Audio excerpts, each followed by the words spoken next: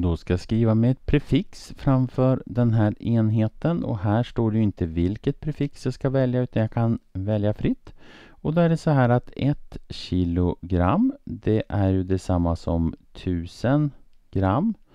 Så 8000 gram det är ju detsamma som 8 kilogram. 8 kilogram. Och prefixet har vi här då. Det där prefixet K som betyder kilo, som betyder tusen.